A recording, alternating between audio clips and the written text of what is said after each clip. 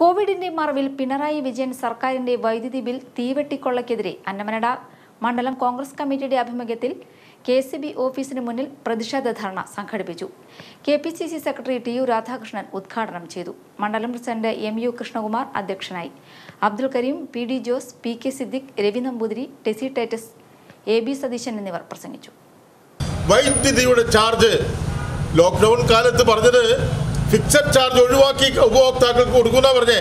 ഇപ്പോൾ fixed charge കൂടി കണക്കാക്കി ഒരു വലിയ ഭാരം കേരളത്തിലെ ഇലക്ട്രിസിറ്റി ബോർഡ് നമ്മുടെ തലയിൽ വെച്ച് കെട്ടിയിരിക്കുകയാണ്.